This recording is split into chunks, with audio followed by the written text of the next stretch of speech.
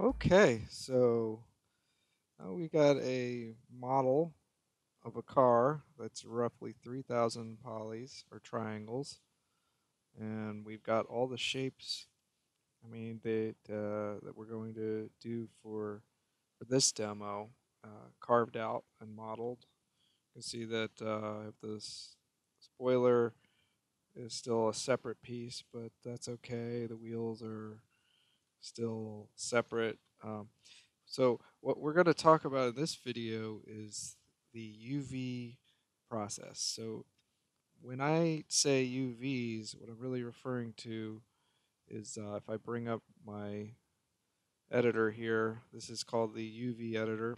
And in the modeling menu, you have an entire uh, panel here dedicated to UVing. Um, so the UV editor is where you're going to be spending a lot of your time now that you have a model done. And if you've never done anything with 3D, um, I could just sort of explain very basically what the UV space is. So the UV space, if I have, say, this one one object selected, and I pull it out, and you can see that nothing is changing when I change the model here in the object mode, but if I switch to uh, component mode and I start selecting faces, you can see that I actually uh, have a manipulator appear and a, uh, a highlight, uh, an outline of the face that I'm selecting in my UV space. So uh, what it's telling me is that these faces uh, are correlating. Basically, they each one of the individual faces correlates to a space, a face in the UV space. In the UV space, if I switch to my UV editor and I grab that same face one by one by one, I grab what are called the UVs, which are the points that uh, align to the vertices of the face, but actually represent the pulling it out, you can see it represents the uh, sort of the skin, skinning information where the once the object has a texture applied to it, which is a flat image, uh, that image aligns to this sort of uh, flat orthographic space, and it's in a uh, one-to-one grid. So your default Maya system uses this upper right quadrant of the UV editor for laying out your UVs, whereas the other three quadrants really just represent workspace. So you can separate everything and lay things out.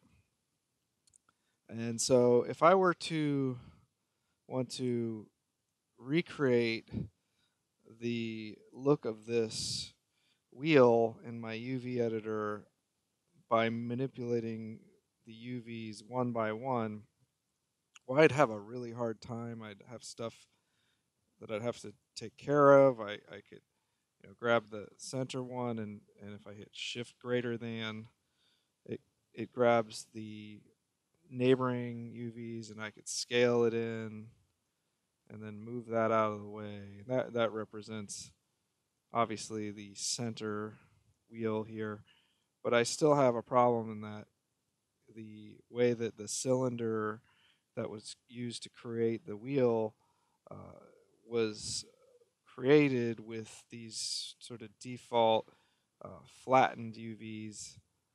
Uh, every time you make an extrusion or add resolution to geometry, you run the risk of of of having UVs that you're going to have to deal with later.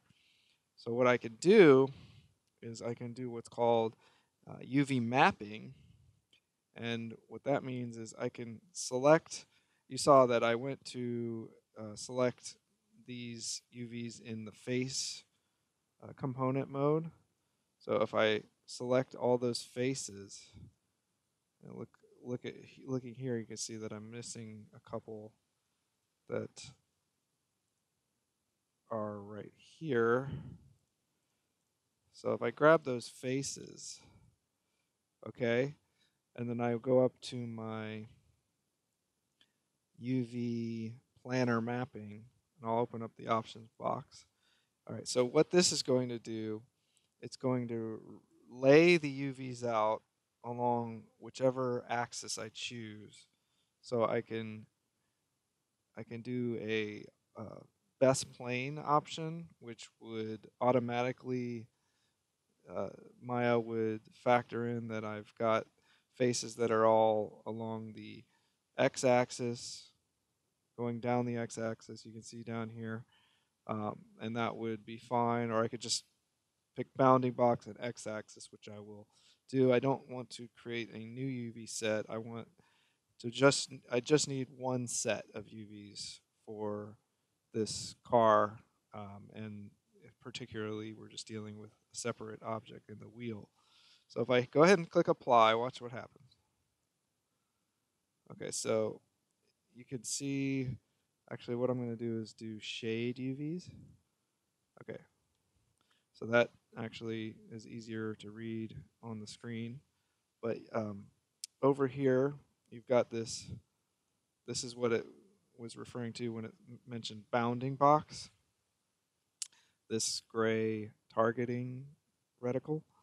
Um, but you can see here, all right, I can, now I can go ahead and move this. I'm not actually moving faces, but rather I'm using moving UVs in face mode and I can just move it out of the way. And if I go to, if I hold down control, right click, and I go to two UVs, see now it's selecting UVs and I can't move or change UVs in the 3D viewport, but I can, however, do that in my UV texture editor. I could scale this down and now uh, if I determine that, you know, I want to keep these sort of out of the way of each other because in my reference, you know, this will have its own texture, the wheel and the uh, tire part will have a different looking texture.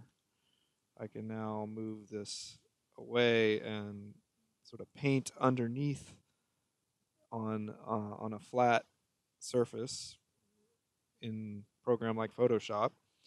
I can paint you know, or use photo source to come up with uh, a, a, representational texture. So what we're left with is another row here, and that's probably going to cover the inside as well. So I could tell that if I just select these faces, and then I switch that to UV mode, you can see if I scale it I've got, you know, what I would do probably is just take those faces and do a, another map, but this time I'm going to do a cylindrical map and not creating a new UV set, and that's fine. We're going to do the pro projection before the deformer, which I'll show you so now our bounding box is cylindrical. And that's not necessarily the result we were hoping for. However, before you exit this tool, go ahead and click on this little T here. And that will uh, center the manipulator to the center of the uh, cylinder bounding box. And now if I click on the rotate uh, um, rotate selector and it switches to rotation. I can now sort of rotate my, oh, I want to rotate in this mode. Now you see what's happening as I rotate along the uh, Z axis and I am rotating it out. You see that my uh, tire tread portion of my model uh, has actually uh, laid out flat and sort of looks properly unwrapped there. Um, so what, again, if I'll just undo this, I went ahead and I did a UV cylindrical map. I got this tool which shows which direction the Maya chooses to map cylindrically. Uh, well, it doesn't look right, so I click on the uh, the little T bar here, and I can now go ahead and select that. That allows me to select from the center of the object the different. I could choose to scale, you know, or I could choose to move, and moving's not what I want, but I, rotating is what we want because we know that uh, we we want the curvature here to uh, line up with uh, the sort of uh, wheel shape texture. So we go ahead and grab the appropriate axis here, which in this case is the Z, because the Z, uh, if I rotate it 90 degrees, now you can see that the uh, the tool cups the wheel kind of and sort of matches the position. So it's a very uh, maybe strange foreign concept to get used to, but this is the uh, the way that uh, CG models get unwrapped um, manually, and there are tools out there that cut this time down. In fact, I can uh, I can go in and show you that uh, there is, if I move that out of the way. So basically, the final stage would be just to do another projection on the x-axis here in planar mode. And now we would be done and ready to move on to the more complicated stuff, uh, which you can uh, imagine is sort of the car itself. But uh, another way to map things is in the um, in the editor uh, tool under UV editors. You can actually do an automatic map, and you can see that it creates similar layout. Uh, that that would uh, you know be a good way to start. You can see that it's a little little uh, not not round, more sort of oblong shape, and then you've got edges here that uh, need to be uh, sewn up if you want uh, to have one long tire tread.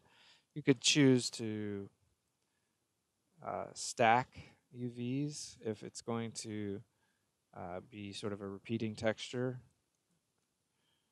uh, that's it's all sort of a matter of how much resolution you want to pack into your uh, your uh, 3D model. So um, that that was obviously a lot faster. So automatic mapping is sometimes the way to go.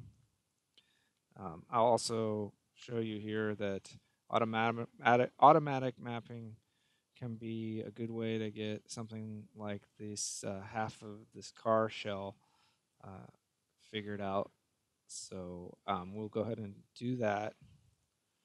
We can see right away, first of all, this is the instance side, so I'm just going to delete it. And you can see that it did a pretty decent job of kind of representing where we would actually tear our seams you know, we wouldn't want to actually try to lay this model out completely. There's no reason to. We can actually, you know, grab this little row of faces maybe and connect those faces to the the uh, bottom of the of the vehicle UVs here. So you can there are tools in the editor here if I'll expand it. And I'm only going to sort of do a quick demonstration here because uh, I've got a tendency now, uh, seems like the videos are getting longer than my uh, original intention for them to be. So, um, but I'll show you the quickly the cut UV tool here. Um, so if you go to separate the UVs along selected edges, you can see that even though my UVs were selected, not the edges, you can see now if I go to select, I'll select the whole row that I separated and I'll go make them UVs and I will move them out. You can see that they're now separated and I want to align them here. So separating the UV does not does not separate the vertices. So when I highlight an edge and you see the red highlight appear, it's showing you where these edges are sewn on the model and that now we can move this whole piece out. I go to two shell and then I can grab the whole shell. I did UV and then right click, uh, oops, right click to shell. Now you can see that these edges here are much they're they're scaled way too big so I need to scale it down